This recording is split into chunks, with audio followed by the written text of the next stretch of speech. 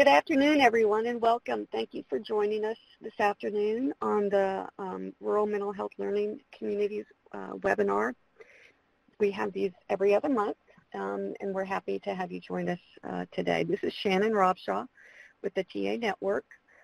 Um, my co-lead for the Rural Mental Health Learning Community is uh, Matt Buckman, who's also on the line and will be facilitating um, the conversation with our experts today. Those are email addresses there, and Sarah Warner also helps support the rural mental health learning community. Um, we would welcome any feedback that you have. We've got a short, very short survey at the end of the webinar. We ask you please, um, we really would appreciate you taking just a couple of minutes and filling that out and giving us some feedback. It, it helps us. Um, we would also uh, welcome any direct communication back to Matt or myself in terms of content areas that you're interested in that we might should uh, look at covering and um, you know, finding additional resources or having additional webinars. Um, we're always looking for topics that folks are interested in. So we would welcome your, your uh, input on that. So again, thank you for being here today. And we want to get started with, um, with a quick little poll just so we understand who all is participating in the conversation this afternoon so we can understand better maybe what some of your particular interests would be. So if you could, you could check one of these boxes. Um, the organization, uh, your organization can best be described as what? Take just a couple of minutes so we'll get a sense of who, who, who all is on the call.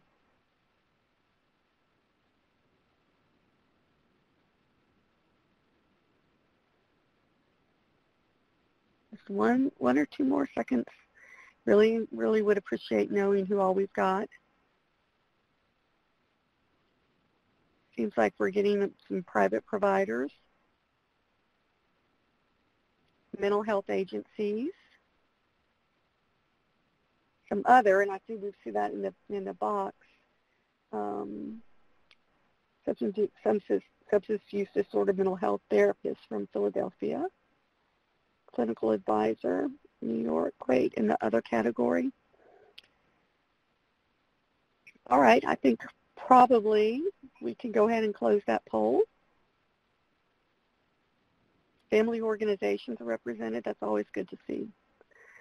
All right, terrific. Um, and if you all could just, the second poll, just to, to, let us know what your role is with your organization, we would appreciate that, having that information as well, please.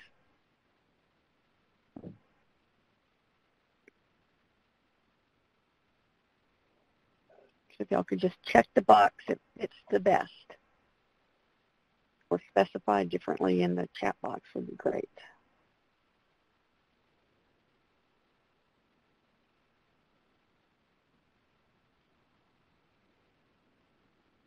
like direct service providers, other again, wraparound access coordinator, okay, great.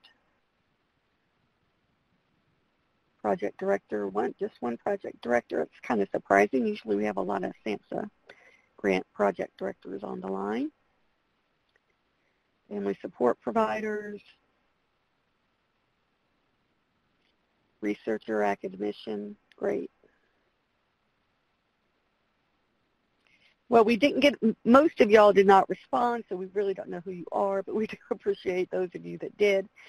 So, um, so thank you for that. So let's, I think we'll just jump right in. Um, and Tiara, my arrows have gone away, so yes. So I'm going to turn it over to um, to Rick and to Angela and ask them to please introduce themselves and go ahead and get started with the presentation. Thank you both very much for um, being willing to present today. And we will take questions as we go in the public chat box. Um, and so we, we will try to pull those out as we go, and we'll also try to have time at the end. And myself and, um, and Matt will help facilitate that, that Q&A session. So Rick and Angela, if y'all want to go ahead and get started. Sure. Thank you very much, Shannon. Um, I'll introduce myself, and then I'll let Angela introduce herself briefly. Um, I'm Rick Shepler uh, from the Center for Innovative Practices at Case Western Reserve University. And um, we also run a learning community on co-occurring disorders for the training uh, network. Um, and we're very pleased today to offer some, you know, information on the impact uh, of opiates on, on the family. Joining me today is Angela Riviere.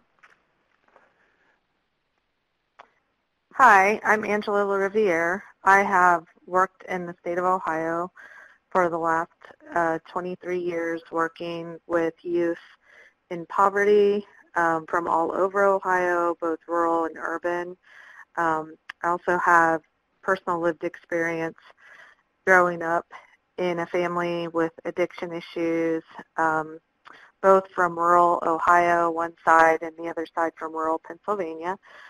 Um, so I've really, these issues that we're talking about today has affected me personally as a family member and a primary caregiver. I, my current role is working with youth who are multi-systems, who have issues both with addiction and with mental health through Youth Move and also through a poverty prevention program called Youth Empowerment Program. Thank you, Angela.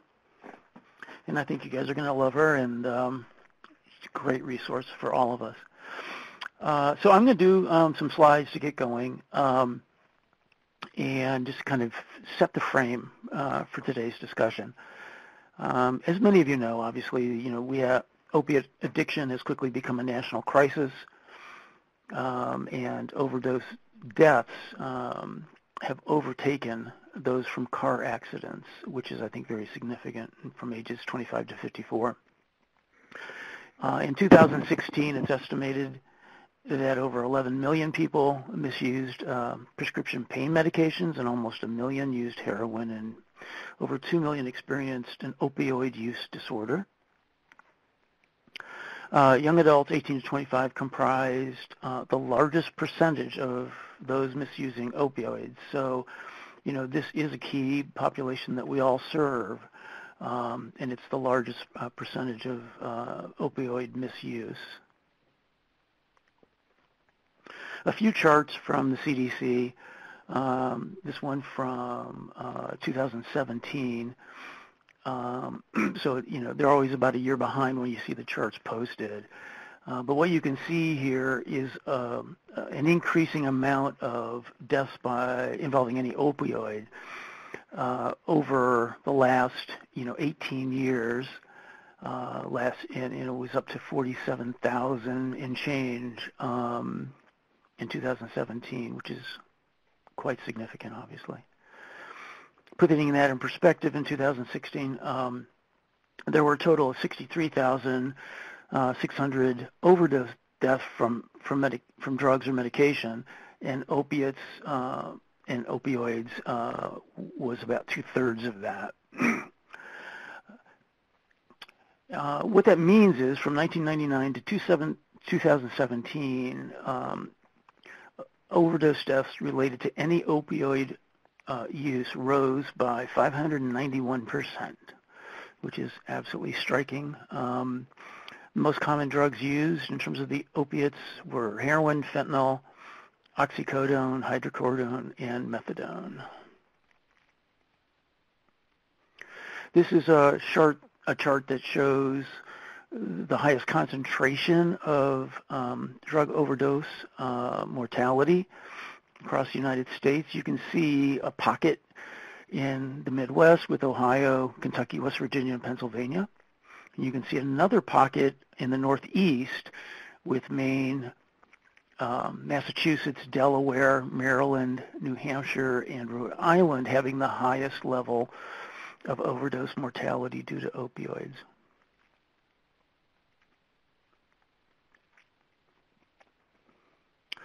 Um, there's multiple impacts of opioid addiction. Um, it doesn't just refer to the deaths associated with the use of opioids. And really what we want to talk about today is what is the impact also on families. So there's a wide range of, of struggles of those using and abusing opioids. Um, they have multiple impacts on families. Uh, these impacts include criminal justice involvement, adverse effects on mental health conditions, poor living conditions, and damaged uh, relationships.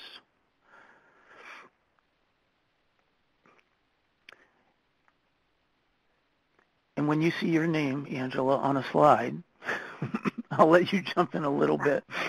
I got it, Rick. Okay. So some of the work um, that we've been doing in Ohio is looking at the impact specific to Ohio, but not um, unlike the other states that Rick mentioned, is what we're seeing is a big increase in stress on the child welfare system particularly, but also other systems. And what we see and what we know is that, that there's been a 62% increase in Ohio um, just for children in custody who have been placed with relatives and what that stress comes with families. Um, what we don't see in those statistics is other families um, who are receiving children as a result of the addiction and the epidemic, um, and also due to deaths where relatives just take in the, the children of those families without going through the child welfare system. So they're not officially involved. Trying to forward. Um, the cost has increased across the board, particularly in Ohio. Um, most of the cost has can be tracked directly to the drug-related cases. By the end of 2016, children in foster care had risen over 10% um, due to drug abuse from parents, and 70% of children in Ohio under the age of one had a parent using opioids or, or heroin. Most, most children entering the system were at younger ages, and the system is too stressed really to um, intervene on cases with older youth. And we have done some focus groups and discussion groups with those older youth that, to see what their perspective is on the impact on them. So some of the things that we've been looking at is, you know, the parent behavior, which um, if you're working in this field, you see that we have more and more absent parents. They had extended time seeking drugs and being outside of the family. Um, we, have, we see a lot of trauma both on the user side and how it's impacting the children in those families. And um, they're just giving up on any housing stability is a big issue, but also caring for the family unit, whether it's the children, older youth, or other adults in the family. And the impact on children um, of all ages, I would argue, is the abandonment, the neglect, the lack of supervision, anxiety and fear, the lack of food, all of these things that you could imagine um, exposure to other non-safe situations. We have a lot of youth um, who talk about being taken into drug houses or um, being left at strangers' houses while their parents are using. Um, and also for our older youth, the responsibility of the family in running the household has come on to them. Um, and they're falling developmentally behind. So some of the service providers that we have talked with and looking at these things has indicated that there's a huge stress on the school system, particularly in rural areas where there aren't other services, that school becomes the primary location for the youth to have food or safety, um, even if they're not verbalizing it, because there's a culture of, of protecting their parents um, but definitely teachers and school personnel are seeing that impact.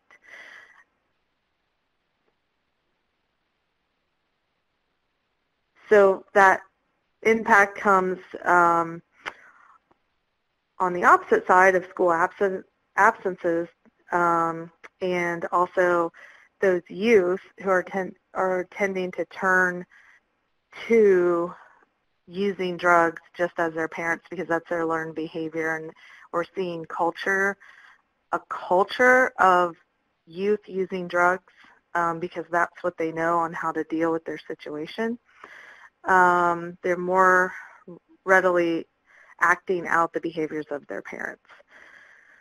So with some of those discussion with those particular youth, for instance, um, had a youth from a family um, who's primarily Southern Ohio roots and poverty, whose multi-generational youth came from a grandmother using prescription, um, in this case it was Vicodin, the mother being addicted to prescription Vicodin, and when this youth was starting at 12 years old, was getting made fun of and having a lot of bullying going on at school, mostly because of poverty and neglect, was having anxiety about attending school.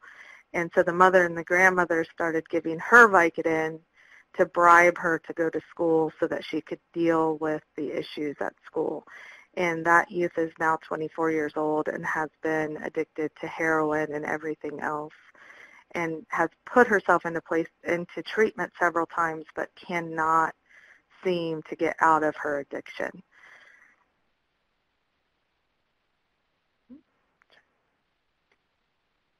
So in the youth voice, I'm going to take a minute. I mean, you could see the slides. Um, some of the things that youth have said is they feel like they are held responsible for any of the activities going on within the family because if they go to school and they act out or they go to school and they're tired or they go to school and they can't control their anger or their depression that they're getting blamed and punished and they they feel like their their self their siblings and their peers um, are really taking the impact of the punishment and consequences of the adult actions if that makes sense to everyone um, so one, I think the main takeaway, no matter what county youth I've worked with, has they've all expressed this.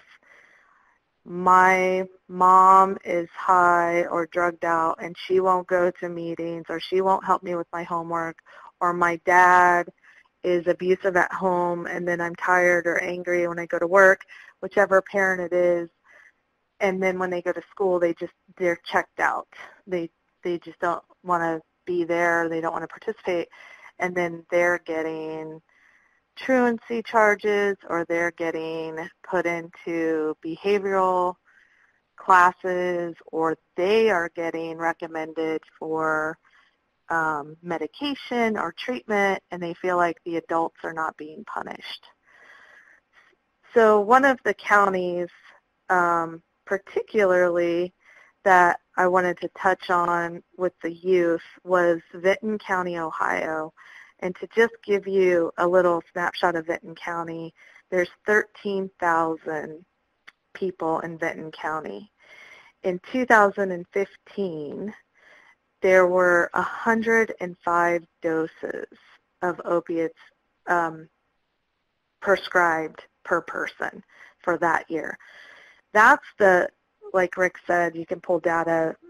It's a it's a few years behind. I realize that's some, that's four years ago. What's disturbing is of all the counties where they've improved, Vinton County has not improved. And until last year, Vinton County did not even have a grocery store.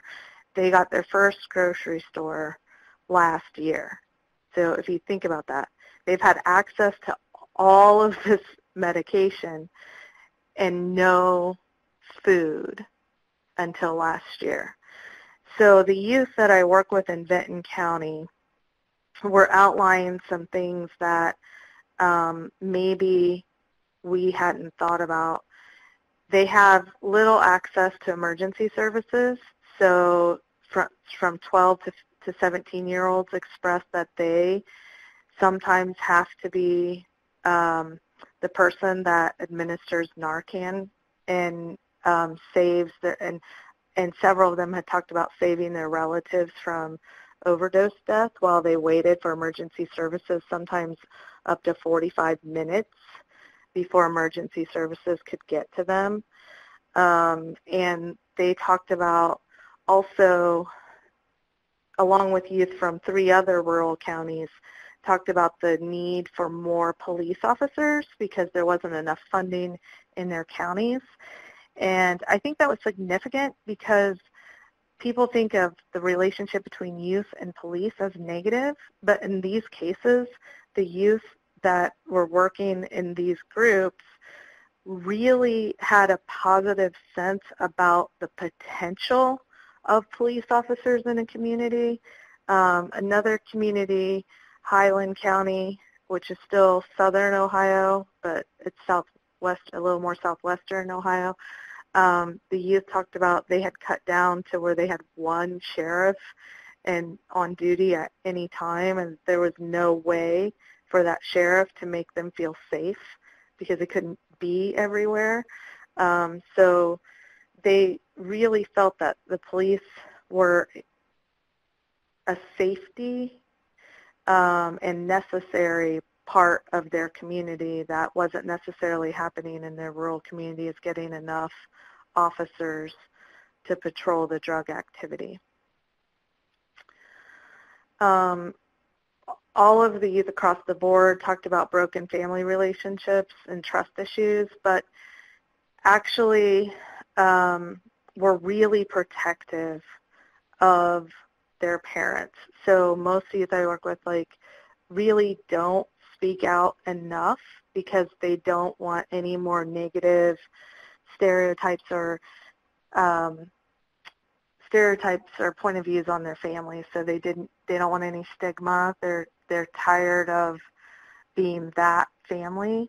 Um, there's emotional, financial, time, housing drain, dealing with other relatives. So a lot of them were talking about even if they go into relative placement, there's so much use across the board um, that some of the relatives are also addicted and it might be a slightly better situation but it not always and that there's just a real stress on grandparents um, because there's so many grandparents that are taking in children whose whose parents have OD'd or addicted.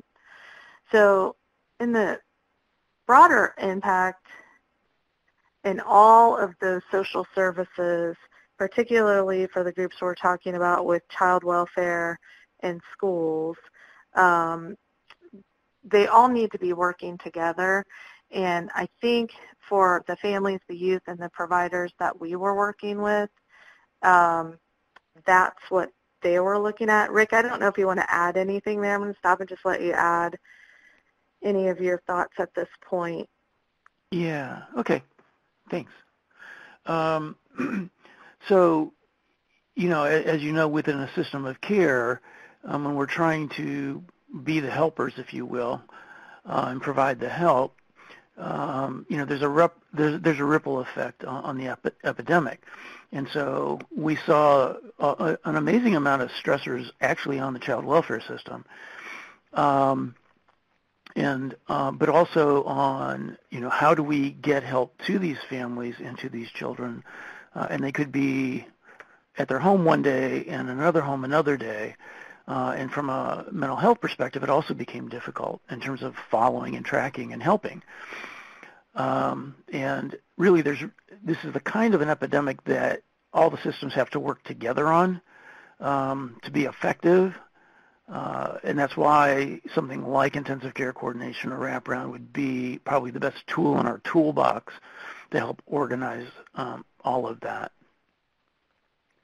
So when we think about, you know, how we partner for recovery, um, you know, I'm thinking about the main areas that, that we would need to focus on. And maybe you even think about this in terms of wraparound life domains. Um, you know, we would need to look at, first of all, is the youth safe? Is the family safe? What are the major, um, you know, first of all, we, we want to prevent any further trauma. Uh, we also want to pre- prevent, um, you know, serious harm as well from you know, either um, suicide ideation um, or family violence or the criminal activity that could put ch- children at risk. So part of what we have to do is come up with a very good um, plan for safety for the youth, but also the family. Um, it's oftentimes that the youth may be placed somewhere else, and so we have to talk about family connectedness.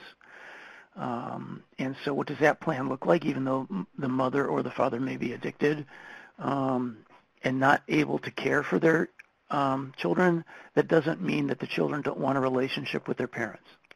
And so what does that relationship look like so that, um, you know, the, the, it, there's some sort of ongoingness for them. Um, as we said earlier, this is a community ownership.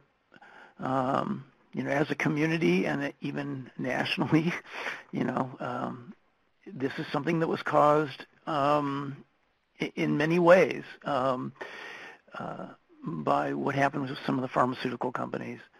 And um, so how do we own this as a community and help the families that are, that are very much at risk? Um, and I know that was a little political, so I will just say right now, um, the statements made by Rick Shepler are Rick Shepler's only and not that of SAMHSA or the training network. And I hear laughter, good. Um, youth supports are going to be needed, family support. So what's the support network look like when there's opiate addiction in a family? Um, to also have realistic expectations uh, for recovery. I think, you know, Angela said it well earlier. This young person had been in and out of treatment. She's still addicted at age 24. What we know is that persons um, addicted to opiates and other um, heavier drugs um, takes at least nine years um, for half of them to reach one year of sobriety. Okay, and that's after multiple treatment attempts. This is not a short-term fix. Um, and I think recovering from opiate addiction is one of the hardest ones. So um, we need to have realistic expectations of what the struggle is. Um, and if it takes nine years, or if it takes even longer than that, what does that mean for those family relationships over that period of time? And that's really one of the reasons we want to talk about family connectedness, because that doesn't mean that they go away forever, the parents. Um, and they may be in and out of treatment and doing well at times and not doing well at times. Um, so what is the family connectedness plan?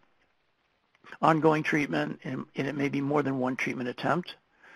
Um, and as Angela said, there's a lot of poverty uh, and basic needs that are unmet. So you can start to see some of the complexity of the community response. Um, and no one system or one, one agency can be all of that to the youth and the family in this kind of a situation.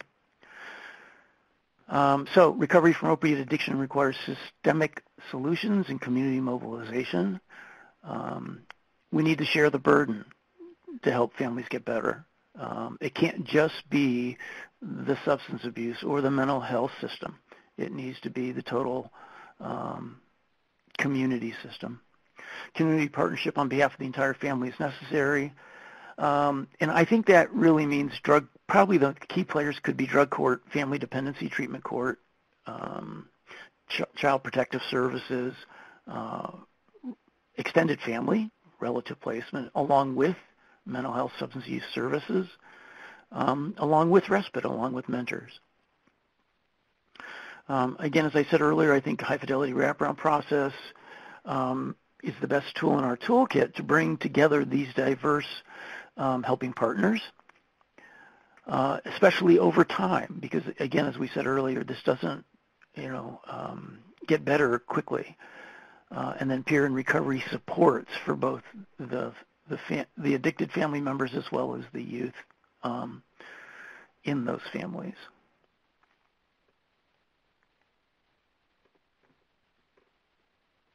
So covering all the bases. Um, so you know, just repeating and adding a few more here. Uh, shelter and housing. Uh, Angela said, you know, the schools play a major role in terms of just sometimes just even getting the kids getting food. Um, what are the benefits for the for the family members? Do they have the benefits to receive the treatment? What are the child developmental needs, and how far behind um, do they fall? As Angela had said earlier, there could be legal support needs that need to be addressed. Um, and, and, so how do we help the family with um, their legal support? Um, there's a lot of family finding involved, and you know, oftentimes we're looking for who is the support family to raise the children. Um, and is, you know, I, I think the first thing we want to do is look at extended family relatives um, support systems.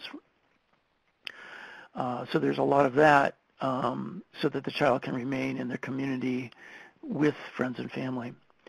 And then there's the whole physical health um, domain that we need to address, and, and oftentimes that could be related to um, transmitted diseases f- from IV drug use, like HIV, hepatitis um, C, etc. Rick, can I add something there to the physical health needs? Yeah. Um, so when we were just just because we were well, just because I pulled out Vinton County and remember those statistics of there's only 13,000 people um, in Vinton County and no grocery stores till this past year. Um, they are in the top five percent CDC risk for HIV and Hep C. So Wow. yeah. So, thanks. Sure. Yeah. Sure. All righty. so I think you know when we when we are presented with such complex and difficult situations, um, I think it's easy to for the first response to be a judging response. Um, and I think that what we have to do is figure out our ways to validate and value every family story um, in every family situation. Um, because I think for me, if there were generations of poverty in my family and dr- generations of drug abuse, uh, if there was no grocery store in my community growing up, um, how well would I be doing? Right? Generations of trauma. So I think the first step is to figure out how we honor the family story and the family journey and to appreciate that the family's doing the best they can, um, given their current abilities, life circumstances, and frankly, just being addicted. Um, how do we honor their family expertise?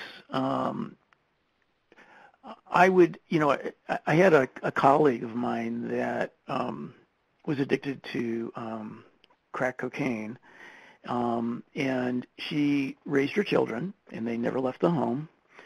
Um, and I found it very interesting. I, I thought, geez, you know, um, that's a kind of a difficult thing. And what she said to me was, look, I I knew that I needed to I I needed to restrict my use to certain times. I needed to make sure I met their needs, um, and there was nobody else that knew my kids better, and they needed to be with me. Um, and that was, you know, she was telling me the story after she had been, you know, sober for many, many years. Um, but how do we honor the family expertise, even sometimes when the family members are still addicted? Uh, it doesn't mean they can't provide something, um, even if it's just information for the, part of the helping of the kids. Um, as always, you know, how do we understand and value the unique beliefs and values and customs, um, languages, abilities, traditions, and life experience of each family we serve? Um, and I guess most importantly, uh, how do we hold on to the hope for this youth and this family until they can hold the hope themselves? So how do we foster that, foster a positive future um, while they're struggling and while they're you know they're they're getting better. Uh, and that's a that's a difficult one when it gets extended over time, because we start losing our hope as well. Um, and so we need to find our ways to sustain the hope in our own minds for them.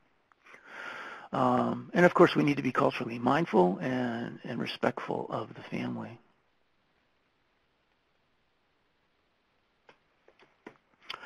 Um, okay, so for these families to be successful and these youth, you know, we need to be talking about identifying and mobilizing a safety net of supports.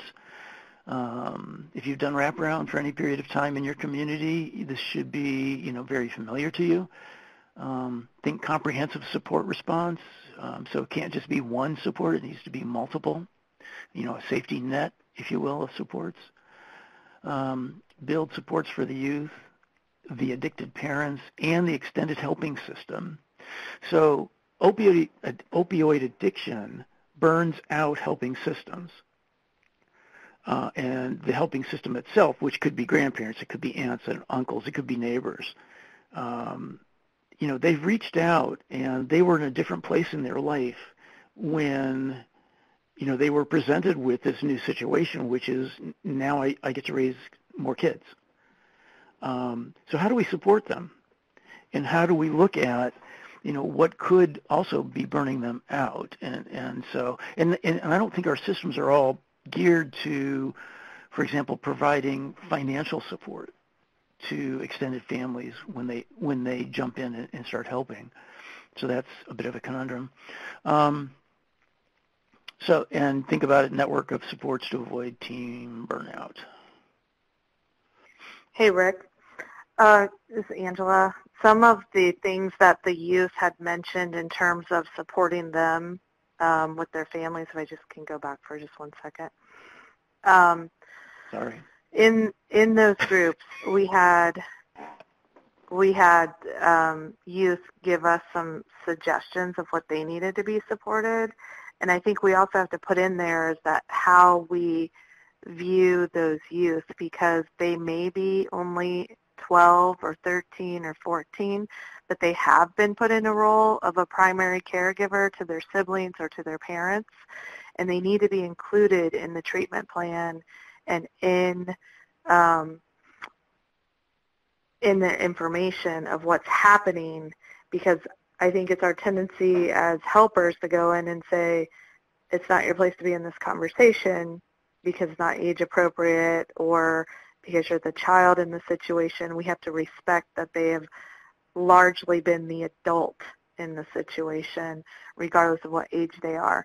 And I had a 12-year-old that came to a session that was talking about having to care for his parent for so long and that he felt that there were a lot of programs in schools, but the programs that existed in schools, um, such as any drug-related drug prevention programs, maybe DARE or something like that, was really, in his words, kindergarten level compared to the level of what they see when they go home or what they're dealing with in their families and that he felt his himself and his peers needed some better training around what the realities were in their community versus what the theories are of their age appropriateness. Does that make sense to you? I thought it was I thought it was really good from a 12-year-old and he didn't talk the whole time because he was the youngest one in the session and then he just had that really great and powerful insight to what curriculum in schools and and how service providers look at a child because they are children versus the conflict with their their home reality. Beautiful. Okay, thanks. Um, we have a question, and um, the uh, from Zenda Stevenson, thank you. The unique problem that a small community has is that there are no natural supports um, that are healthy. That aren't addicted also to help the family maintain or obtain sobriety. More of a comment that in many small communities there might not be those additional extended family supports to be helpful. Uh, they too also might be addicted. Thank you for that, Zenda. Which really puts more stress on, you know, especially in a small community, what is the system response?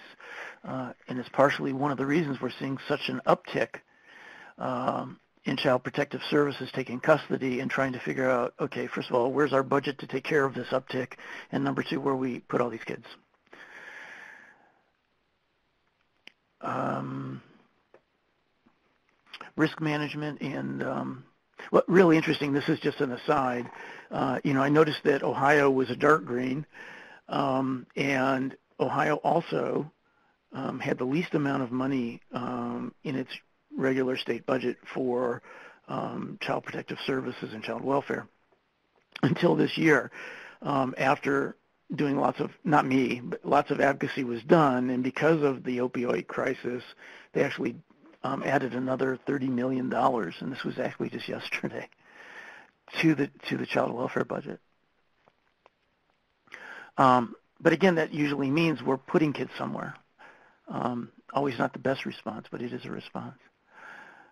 Uh, risk management and safety enhancement approach. So again, when we're involved as helpers, what I think the way that I view this is that there has to be a plan for risk and, and support safety, um, addressing family trauma and safety needs, um, personal and physical safety, understanding the role of trauma and intimate partner violence in substance abusing couples, uh, which is fairly common. Um, being open to discussion about what about a needle exchange program. Um, monitoring for suicide ideation as what we know with folks with co-occurring disorders is they are much more at risk for uh, completing suicide. Um, and there's all kinds of risk related to procuring drugs, as Angela mentioned earlier, and, and oftentimes, you know, they might even take the children. Um, so there's all kinds of risk and safety management issues around those issues. Talked about family connectedness. Um, you know, there's a possibility of employing a family finding approach, which um, Child Protective Services often uses, um, but also to consider alternate family options like the faith community, um, concerned others, neighbors. Um, and I think we almost have to consider a collaborative parenting approach. Um, how do we do, you know, we have to think outside of the box. Um, so if somebody from the faith community steps up, then what supports are there for them? Um, what's the family connectedness with that new family? Um, and how do we come together to collectively parent the youth uh, in a way that keeps them safe and developmentally growing?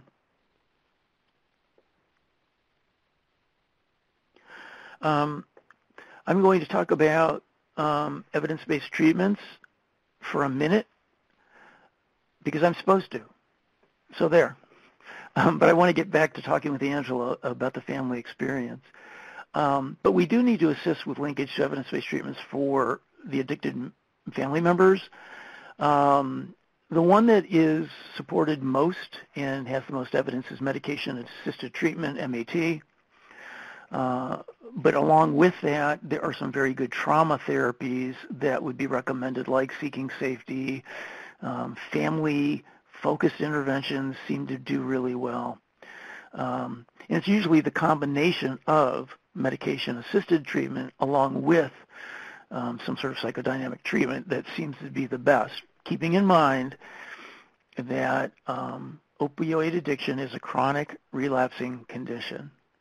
Um, so real, realistic expectations, and it, this is an over time um, intervention. So there's no magic uh, bullet here. Uh, just some of the medications that are around. Um, so naloxone is around, uh, strong opioid antagonist. It's administered to counter an overdose.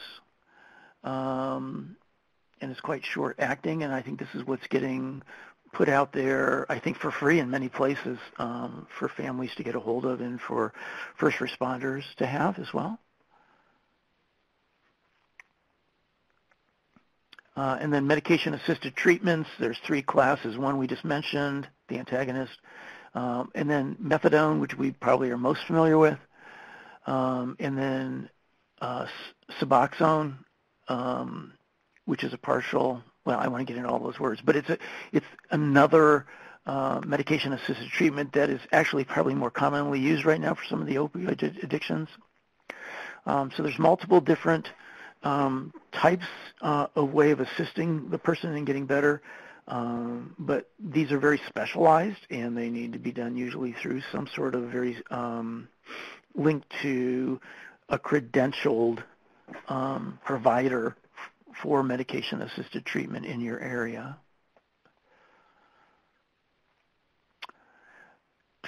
MAT is targeted to decrease overdose death, decrease infectious disease spread, increase treatment retention, and decrease criminal activity. These are some of the positive outcomes that when it's used um, happen.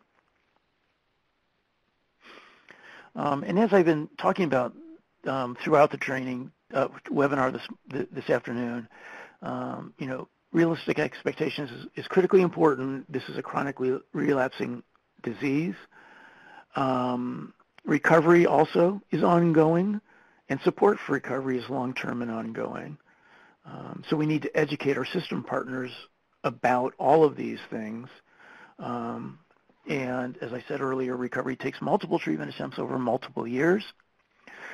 Um, one kind of a general approach to use regardless is motivational interviewing, which I just wanted to mention because it is also another evidence-based approach to helping um, persons who are addicted.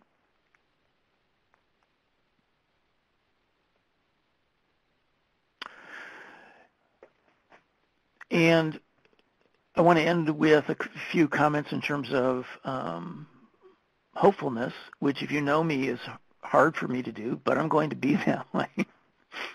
um, I can take it for you, Rick, if you want. Yeah, no, that would be great.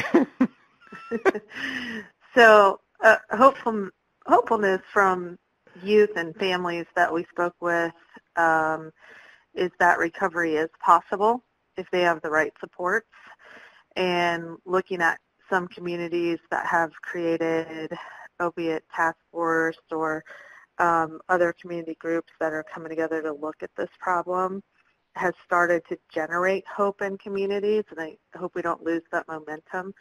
Again, I wanted to point out that most of the youth, even the surprising, um, worked with a group of juvenile youth in the juvenile justice system, indicated positive comments about law enforcement and their role on how to build relationships with the community.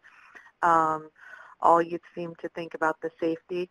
The child welfare system, and I think finally with this crisis, at least in Ohio and then hopefully in other states, are starting to fund programs that are needed within the child welfare system. And if we keep those discussions open with them about, as Rick indicated, how to support extended family members and also community groups to be empowered to work together um, to support the children in these families. In the education system, um, we could provide a lot more training for teachers and also looking at things that we could do that would be low cost, as the 12-year-old mentioned, as simple things as looking at current curriculums and the and how we have those discussions and bring outside resources into schools um, if outside resources are available, as we know in a lot of communities, schools are really all they have. So um, just supporting our education system, looking at the physical and behavioral health care issues, um, that means to our families and youth being indicated of treating the entire family, not just the addict, not just the child who's acting out, but um, getting that message across that we do need to look at the whole family dynamic and what the needs are going on across the board as much as we can. Um, there's been a lot of, of positive um, changes within juvenile justice to do diversion programs, treatment, therapy, and looking at trauma instead of just punishing um, criminal behavior. Um, so there seemed to be a lot of hope, particularly with youth that I've worked with, around the role of the juvenile justice system, um, which is also the, the adult, and also in the adult criminal justice system, having more drug courts and intervention and treatment options on those um, nonviolent offenses that are drug related or mental health related. Here in Ohio, some of our counties also do mental health court um, early childhood providers, um, just getting information out to them, and then, of course, any other child serving systems. But we think, you know, as the information gets out there to those helpers in the community, um, that we could look at these recommendations for both the evidence-based practices that we know, um, implementing, as Rick said, wraparound. Uh, our youth are big supporters of wraparound here in Ohio and looking at getting as many people to the table as possible so you have a better chance of building a foundation for those youth to progress positively and move forward and for those families to stay um, more stable and intact.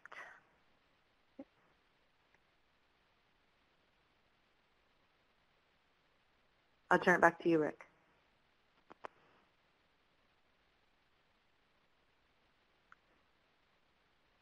I think we lost Rick. All right, so it looks like we. Oh, I had to unmute. I am Oh. so sorry. No worries. Sorry. it's okay. Uh, thank you, Angela. I want to just point out some resources that we have available. And um, this is the, um, you know, SAMHSA has a lot of very good resources uh, on opioid overdose. Uh, they have one on pre- uh, a prevention toolkit, and there's um, the uh, website for that. Um, the CDC um, has some information on uh, preventing an opioid overdose. Um, very helpful um, to have that as the help helpers, but also to distribute to the family. There are some tip manuals um, that address things like co-occurring disorders, but also medications for opioid use disorder put out by SAMHSA. Um, and all you would have to do is click on the um, the hyperlink there, um, and then the resources in the um, the reference section here. When you go to the files, um, what I want you to take a look at is we have the PowerPoint, number one. Um, in addition to the PowerPoint, we have um, more resource more resources for you for the helpers, but also the persons addicted to opiates. Um, and then we developed um, some resource tools for helping youth and families affected by opiate addiction that are actually part of a toolkit. Um, and you won't see these anywhere else, um, and they're for you to use if you like. Um, but we have a uh, family contextual support map that we, we developed for, for families affected by opioid addiction. Um, we and it's guided by um, questions that you can ask. Um, and we also have in that toolkit um, a support team helping grid, um, keeping in mind that there are key areas that we need to address for, for, for families who have opioid addiction and keeping in mind that it's hard to keep it all organized and that teams burn out from helping. Uh, so we need to figure out how to distribute the help. So those are there. Um, we want to make sure you knew about them uh, in addition to the PowerPoint. Uh, we want to open it up for questions um, to see if we have any other questions from participants today. And as we wait for questions, I'm going to talk with Angela. Um, so Angela, I guess one of the th questions I wanted to ask, um, because I know you've had uh, you know your own lived experience, but also worked with many youth and families um, who have struggled with opioid addiction. Um, what's different now? How is the opioid crisis different than it was maybe 20 years ago? Or maybe it's, it's a similar dynamic, I don't know. Well, I I would say I think there's a lot more openness around um, mental health in general. Um, for me personally, but also looking at the life lifespan, what we talked about is that cycle of addiction. Um, I had one parent that was addicted and one parent that was severely mentally ill. So as the oldest child was being the primary caregiver for the younger ones, I had absolutely no support at all. And there just wasn't child welfare intervention. I think the child welfare system has improved in terms of their knowledge and intervention in these cases. Um, and probably our families don't see it, but there's been a lot more creative solutions within child welfare that I personally see in terms of um, being flexible and, and not just taking children away. There's more supports for children who are separated from their siblings to be able to connect to them. I think that has a lot to do also with technology. You have cell phones and internet access. Um, it was a lot more scary Um, when child wel- welfare eventually intervened in our situation, I was 18 and the rest of my siblings got separated into different homes. So that was a very traumatic time for all of us because we had no connection to each other. So I definitely will say that the system has gotten better at recognizing the need for siblings to be connected to each other during crisis and trauma and also for the parents to still have some, um, even if it's supervised, um, interaction with what's going on while they're receiving treatment because as a as a kid that's been separated from your from your parent um, I think the philosophy used to be that you just take the kid out of the take take a child out of the situation and protect them and keep them out of the conversation. But really all that did was just distract them internally um, worrying about what was happening in that family. So I think I think think that that's been a shift in how we provide services to families, and I think that's really good. Um, personally, even in the last five years, I think a lot of that's changed. Um, Rick knows with everyone else, I've I have been a, a family caregiver to my nieces and nephews because of, that cycle of addiction had um, continued with a couple of my sisters. Um, it was really hard of not having any any support in the community, not being income eligible for things or not being an official child welfare case. So I, I think that conversation is starting to change and we're starting to really recognize the role of extended family members. I think we had a question. Um, yes, we've, we've, got a comment and a question um, from Matt. Hi, Matt. Um, I appreciate you all sharing the data needs and resources with inclusion of effective evidence-based practices and the importance of youth voice. Um, do you have any resources you would recommend for public awareness campaigns for mobilizing the safety network or supporting families with addiction disorders? It's a great question. I have to think about that question, Matt. Well, Which, but well, Angela I think, knows. Uh, well, for us, I mean, in Ohio, we've created a network and a relationship with Youth Move National, um, generally looking and tapping into other st- anti-stigma campaigns and empowerment campaigns for youth who are struggling um, with their own behavioral health needs, but also working in those families. Um, we do get a lot. There has been a lot of great resources through SAMHSA and the TA network um, that we have pulled, and we kind of encourage, especially our smaller communities that don't have a lot of resources, to look at different campaigns that's going on nationally.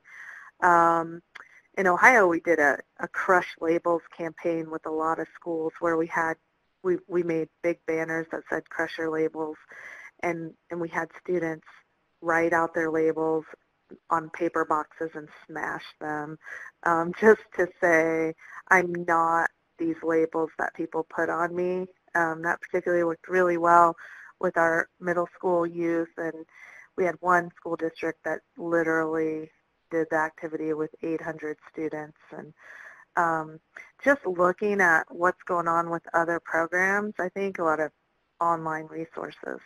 I don't know if that's helpful or not, but um, mostly I think breaking the stigma opens up the gate for them to not be ashamed to talk. And then once you engage them in talking, then they will ask for the information and hopefully that information is available. That's wonderful. Well, and, and this is Shannon. I really want to thank you both and hope we get some more questions. Um, but that was really um, powerful uh, information that you both shared.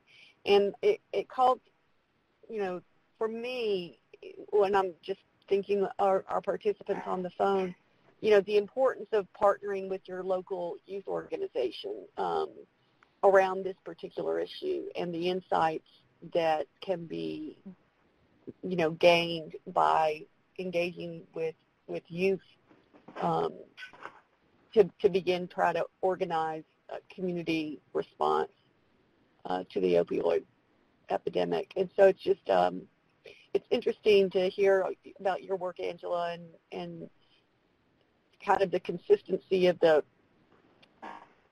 of the of the perspective that you're getting and the information and the stories that you're getting from your different conversations in different areas. And it makes me think that that we need to be doing more of that um, more that more of that more intentionally in other parts of the country as well. I I um I actually live in in northeast Tennessee um, where we have a lot lot lot of this um, problem. We have a lot of um, neonatal um, um, addicted babies coming, you know, born, and that's a big thing too. Also, with child welfare, is trying to keep the babies with their mothers and not being separated at birth, or even criminal charges with the mothers. So it's it's a complicated, a complicated issue, and I think that Rick, your observations that it needs to be a community response, not just a single system response. Um, I don't know how to get around that, you know, because there are so many different aspects of it. I think we've been dealing with this this issue of silos for a long time. Yeah, and, and I think it, better. it gets even more complicated when you think about that it crosses over the kid and the adult system. And the kid and adult systems don't necessarily talk to each other or understand each other that well. Um, well, so, I like I mean, to I like to just leave two takeaways if it's it's okay about that. What you just said about listening and and dealing with youth, even though I've lived this literally my entire life and worked with youth professionally for the last 25 years, I will say that every time I have a discussion group or a new youth that calls me with a situation or whatever, I really get a lot out of their perspective, no matter how much I know. This that 12 year old was like, yeah, I get. It was kind of kind of uh, interesting because it was during the government shutdown. So there were 17 young people in that in that rural area discussion group from three counties. And they kept putting on there they were worried about the government shutdown. so we had a discussion about that and resources and just making that comment about can can we just encourage a different conversation right now? Can we can we please move on from the, the kindergarten curriculum, as he said? And I thought, well, we're all thinking of these big time solutions, and, and this would be immediately helpful to them while we're waiting on funding. Um, there's just always things that will come up that we never thought of. And so the, I think the more listening you could do to the youth and the families is, is going to be key. And then also acting on those recommendations. So that would be what I would hope everyone Mhm. would take out of it. And I would encourage folks to utilize those resources that um, that Rick has provided. In particular, the I, I forget the not the list of the links. What did you call it? The family mapping or contextual mapping? yeah, yeah, the, yeah. yeah, the family contextual map. Yeah. I'll look up the exact name. Hold on a second. Uh, it is called, no, okay, Family Contextual Support Map. So those tools in particular, I mean, we would love to get some feedback from you all in the field about, you know, how helpful are those and any suggestions for um, for tweaks or, or just feedback to let us know, you know, if that's a if that's a helpful tool. And there's a, um, you also laid out sort of within that context, I think, Rick, you know, taking that wraparound approach. Um, Right. to working with the family. And so we would be interested in, in getting some feedback on, on if those tools are helpful or not. So we, we would appreciate you letting us know if you can take a look at those.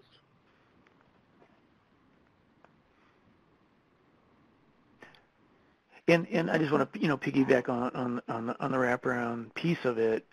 Um, you know, when I think about the tools in our our, our mental health or our system of care toolkit, um, I automatically think about what is that, you know, what do we need to do to bring people together, and and that tool is wraparound, um, and, and it's beautifully designed for this, actually for this kind of a crisis.